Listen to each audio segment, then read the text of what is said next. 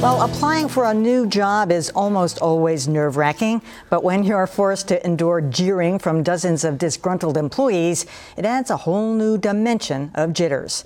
But that didn't deter a slow but steady stream of prospective Market Basket employees from showing up today for a job fair aimed at replacing workers who've walked off the job. A 17 year old applicant told us, despite weeks of intense media coverage, she was surprised to encounter such a large crowd. My mom dropped me off, and then since I saw the angry mob over there, I just like snuck my way into through here to go to the office. They said that uh, earlier they had a lot of people, but while I was in there, there was only like five of us. Well, it's disappointing to see that there are people from the outside that are willing to come in. Um, there's, there's not a lot you can do about it, but you just have to stand to your convictions.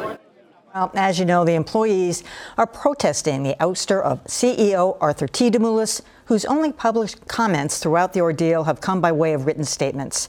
The pair that replaced Arthur T. atop the market basket food chain also stayed out of the public eye. The new co CEOs come with distinct business backgrounds. James Gooch resigned as CEO of Radio Shack in 2012 after the electronics retailer reported a $21 million loss. Prior to that, Gooch worked for the parent company of Sears and Kmart. His new counterpart, Felicia Thornton, formerly headed the education company Knowledge Universe and has experience in the grocery industry from various positions at Kroger, Albertsons, and Ralph's.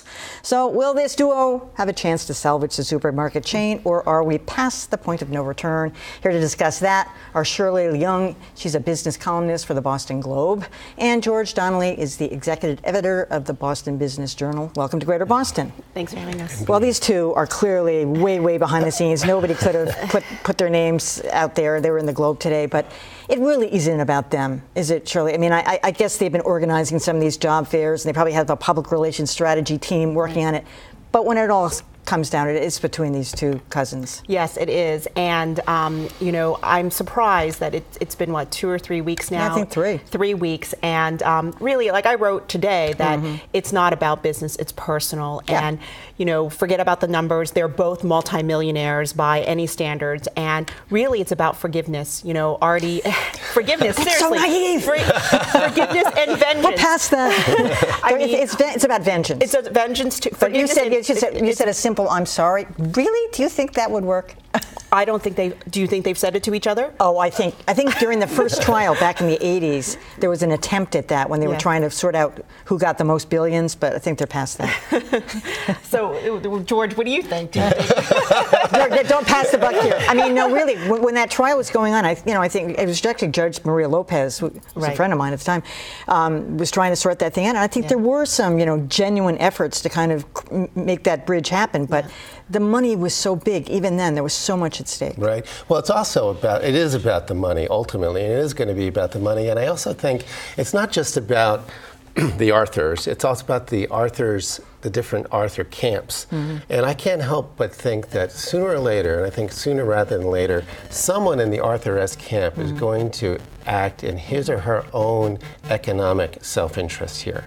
Because w- we reported in the fall that. Um, uh, so Market Basket uh, pays out about $100 million in dividends to the family a year on average, and it was. What happens when that dividend check goes down to, mm. You know, in total five million or nothing? Because of what's happening. Because right what's now. happening now. So so the Arthur S, just to be clear, the Arthur S camp is the one who's currently in charge, ousted the Arthur T.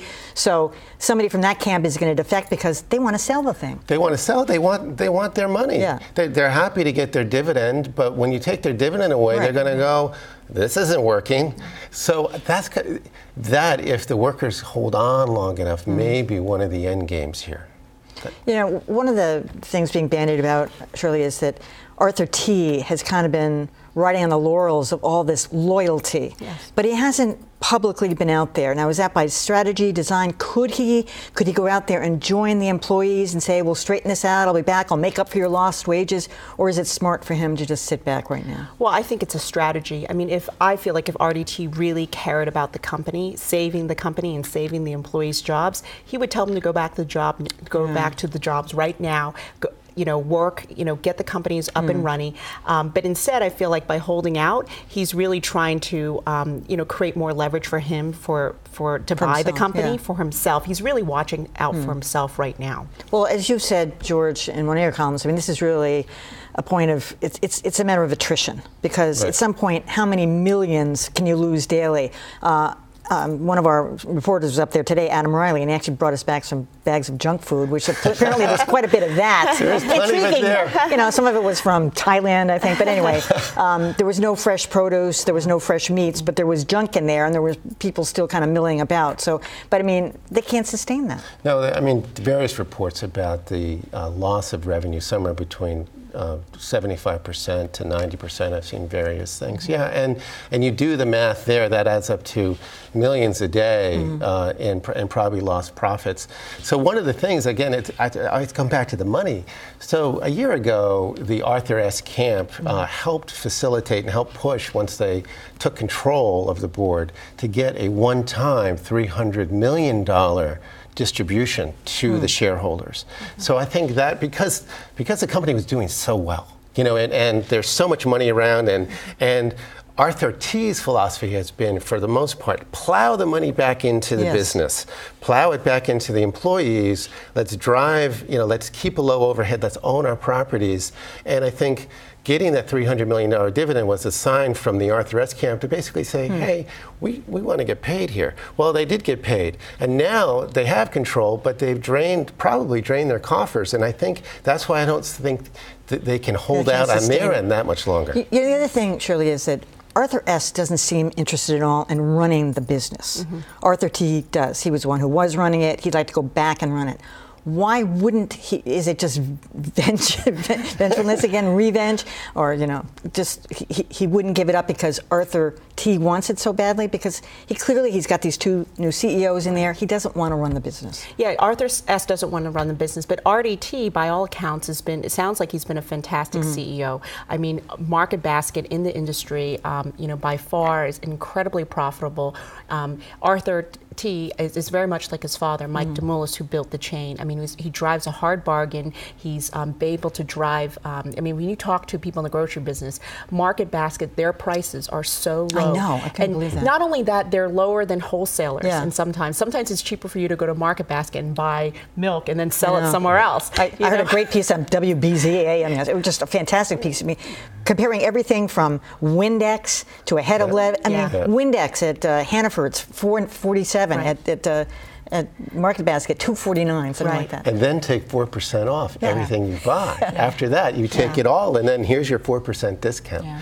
So, yeah, so in, in some ways, what's made this such an amazing story is that Market Basket there is, is in, the, in the grocery business, in a way, sui generis. Hmm. And they are, they are creating, they've create, created themselves into a community institution mm-hmm. that has provided an incredible service to something everybody really needs. And so this fiasco is taking serious dollars out of a lot of people's pockets Well, on top of a lot it's of been other the only news story all summer, re- Right. really. It's been 'cause great for the everything is- media. That's exactly right. So my guess is they'll drag this out through Labor Day. Shirley Leung, George Donnelly, thanks so much for Thank you. coming.